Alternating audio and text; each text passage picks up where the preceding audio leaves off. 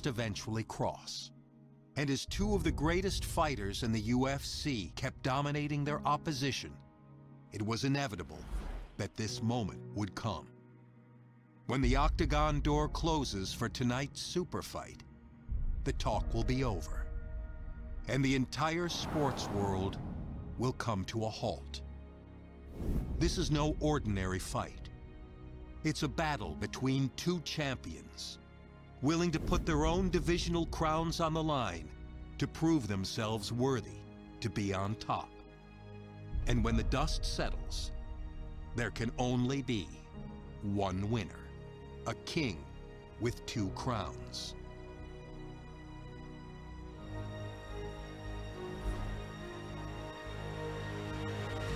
The UFC heavyweight title is on the line.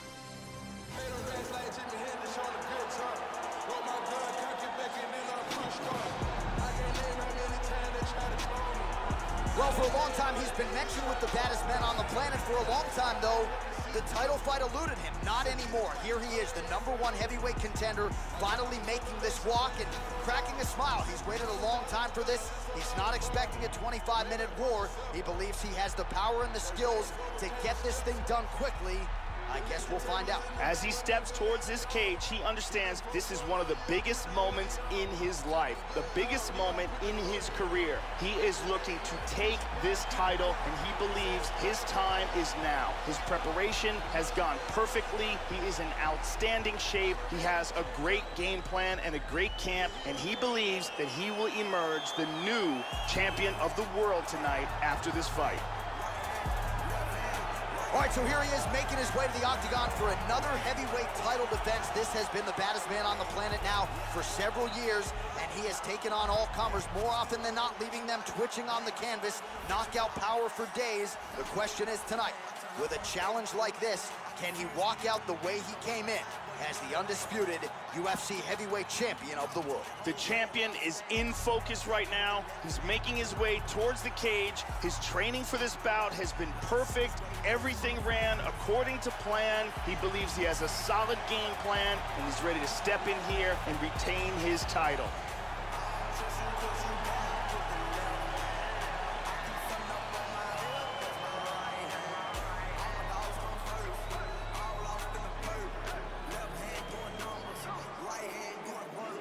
tail of the tape for this, our main event of the evening. Well, how about the age discrepancy here, more than 15 years apart. Some differences in height and reach as well. And now to get us started, here's Bruce Buffer. Ladies and gentlemen, this is the main event of the evening. When the action begins, our referee in charge of the Octagon, Dan Miragliotta. And now, this is the moment you've all been waiting for. Live from the sold-out Prudential Center in Newark, New Jersey. It's time! Five rounds for the undisputed UFC Heavyweight Championship of the World. Introducing first, fighting out of the blue corner.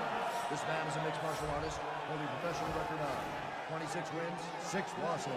He stands 62 inches tall, weighing in at 265 pounds. Fighting out of Boca Raton, Florida, presenting the challenger, Anthony Rumble Johnson!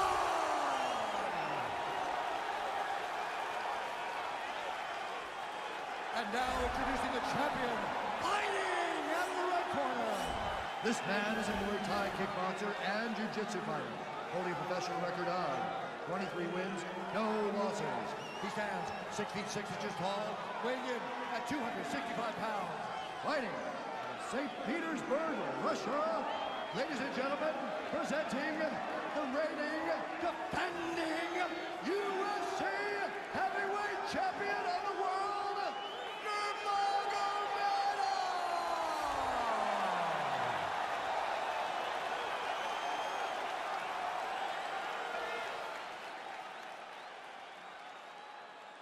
All right, this is for the UFC Championship. I want you to obey my commands at all times, protect yourself at all times. I want a nice, clean, safe fight. Touch gloves, back your corners, come out fighting.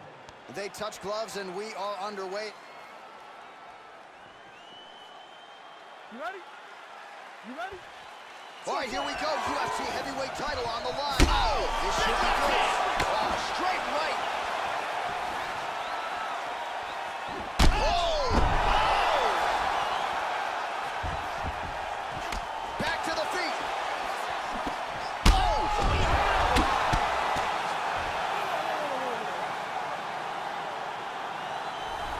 Beautiful knockout here early in the first. Yeah, Joe, that was the perfect shot right there. We didn't even get a feeling out process here tonight, and we say it all the time. Sometimes when you catch a guy cold before he's had a chance to get going in the fight, it can have a bigger effect. It certainly had a huge impact here tonight as he gets the win by first round KO. And here's the end. Let's see it one more time from a different angle. Look at the power in this left as it shuts the lights out. Check out this angle here. Boom! And he's out. So the celebration is on for the UFC heavyweight champion of the world, the baddest man on the planet, and your winner, yes, by knockout here tonight. Ladies and gentlemen, referee Dan Miragliotta has called a stop to this contest at 27 seconds of the very first round. Declaring the winner by knockout and still the undisputed UFC heavyweight champion of the world, Nurmagomedov. So the celebration